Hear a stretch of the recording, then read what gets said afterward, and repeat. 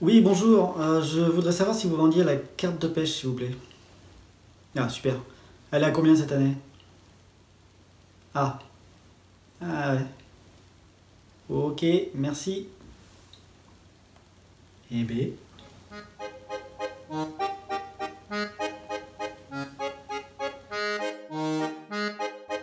Ouais, chérie Il va falloir qu'on vende la maison.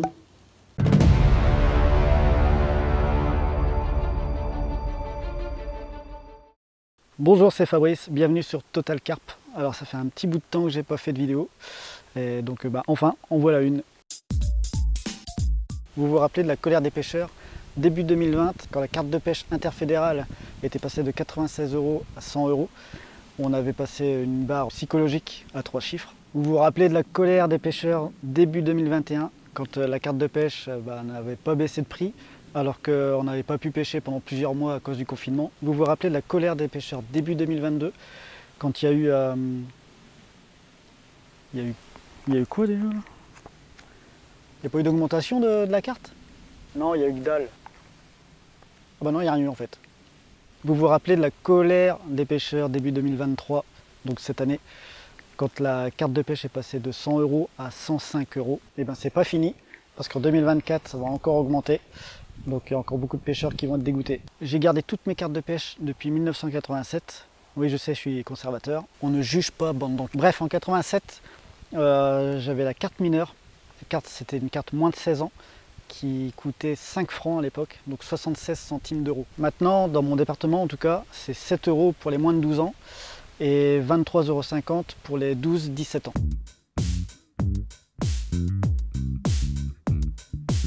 En 91, euh, j'ai pris ma carte majeure, c'était euh, à partir de 17 ans en fait.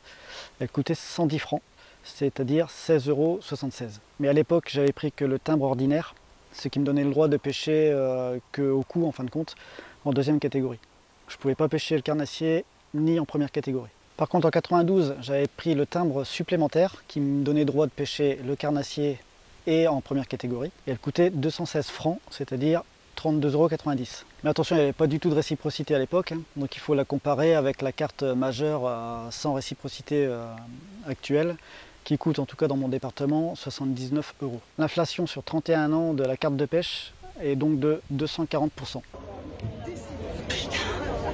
Explosion Tu m'étonnes que ça a explosé. Bon, actuellement, on a quand même beaucoup plus d'avantages. Hein.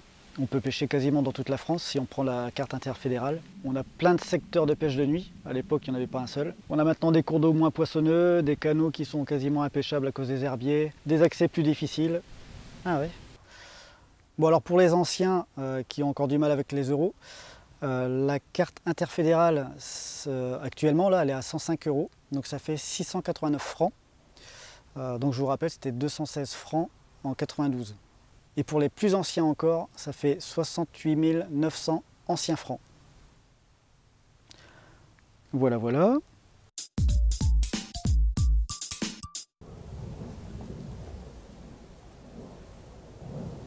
Putain, les avions, j'en peux plus. Ah putain.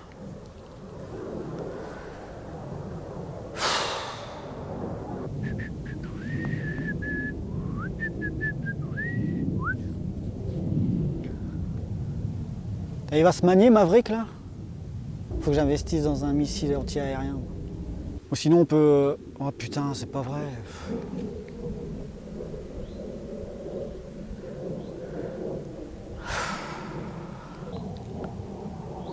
Putain, c'est pas... Oh là là. Et Tom Cruise là, tu commences vraiment à me saouler. Putain, mais c'est une blague.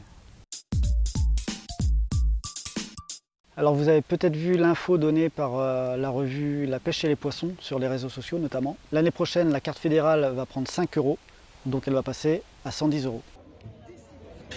Alors dans le détail, ce sera 3 euros d'augmentation pour la CPMA, donc c'est la cotisation pêche et milieu aquatique. Donc ça, ça va directement à la feu ne peut feu. La quoi? La FNPF. Ah ok. Et 2 euros de plus pour la réciprocité. Alors si je ne me trompe pas, la carte euh, majeure, donc sans réciprocité, passera de, en tout cas dans mon département toujours là, de 79 euros à 82 euros. Oh putain, ça palpite. Je suis de la tachycardie. Oh, je vais crever. Bon alors il y a peut-être une bonne nouvelle, euh, peut-être que la RMA, la redevance euh, milieu aquatique, va baisser un petit peu. Alors c'est la... elle représente que 8,80€ donc ce ne sera pas une grosse baisse. Mais je vous renvoie aux vidéos du congrès de la FNPF, donc sur la chaîne de la FNPF, où ils discutent justement de cette possibilité-là. Bon, on paye, ok, mais à quoi sert l'argent? Alors l'argent, elle est répartie en quatre. Il y a la cotisation statutaire qui est dédiée aux fédérations départementales et aux APPMA. Ça sert notamment euh, aux frais de fonctionnement, à payer les baux de pêche, il y a plein d'autres choses. La cotisation pêche milieu aquatique, euh, c'est la CPMA, donc ça, ça va directement à la FNEPFE. Hein? La FNPF. Ah ouais. Plus de 80% sont quand même reversés aux fédés départementales et aux APPMA pour euh, réaliser différents projets et pour des aides à l'emploi. La RMA, redevance milieu aquatique, qui est reversée à l'agence de l'eau. Alors il faut savoir que les pêcheurs sont quand même les seuls à payer cette redevance euh, pour l'usage de l'eau. Alors que euh, bah, si on fait du kayak, les nageurs là, qui sont sur les plages aménagées, bah, ils ne payent rien. Et enfin, l'adhésion au groupement réciprocitaire. Donc là, je parle bien de la carte interfédérale euh, qui permet de pêcher dans 91 départements. Alors globalement et concrètement, l'argent qu'on donne elle sert à l'entretien et à l'accès des berges.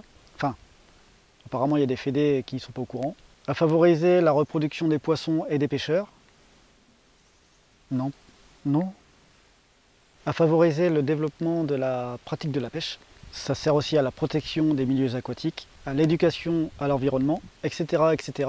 Surtout par les associations qui se sortent les doigts du Concrètement, la carte de pêche est-elle chère? Bah, Si tu es au RSA, sans doute que oui. Si tu chirurgien, sans doute que non. Et si tu chirurgien au RSA,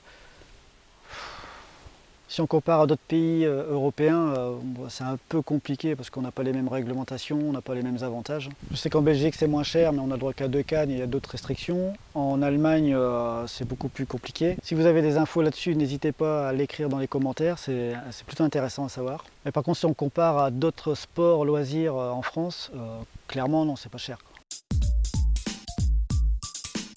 Alors la carte interfédérale à 110 euros, elle coûtera finalement que, 30 centimes par jour ou 9,17 euros par mois. Bon, on peut faire dire ce qu'on veut aux chiffres.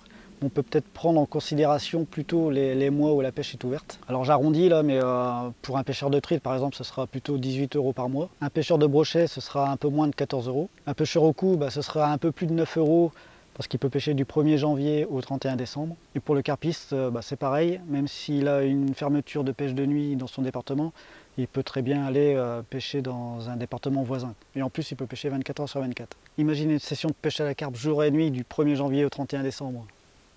Anthony Carpodyssée, je l'ai ton nouveau défi. Ah, tu vas faire un 48 heures? Non, je vais faire un 8700 heures. Bon, sinon, on peut calculer le coût par nombre de jours de pêche effectifs. Donc quelqu'un qui va pêcher 50 jours par an, eh ça lui coûtera 2,20€ par jour de pêche. Et quelqu'un qui ne pêchera que 10 fois par an, ça lui coûtera 11 euh, euros par jour. Bon, et puis sinon, il y a une autre catégorie, hein, et ça, je l'ai souvent entendu quand je pêchais. Euh, quand je pêchais. Bon, et après, il y a une autre catégorie de pêcheurs, et ça, je l'ai souvent entendu euh, quand je travaillais dans les magasins de pêche. Ces pêcheurs-là, ils parlent réellement de rentabiliser la carte de pêche. Donc c'est simple, c'est en nombre de poissons, voire même en nombre de kilos de poissons qu'ils ramènent chez eux dans le congèle.